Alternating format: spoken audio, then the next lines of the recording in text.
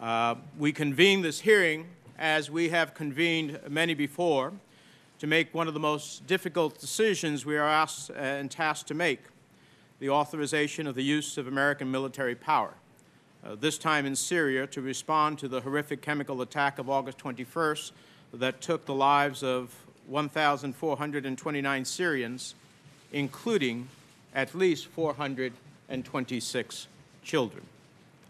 The images of that day are sickening.